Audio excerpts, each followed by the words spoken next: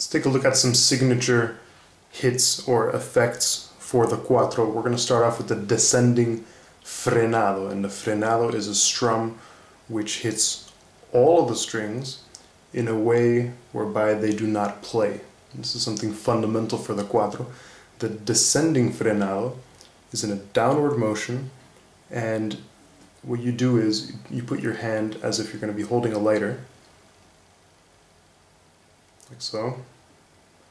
Your index finger stays a little bit ahead of the rest and your thumb holding it nice and snug. The first impact should be with the index finger and the rest would be absorbed by the palm of your hand.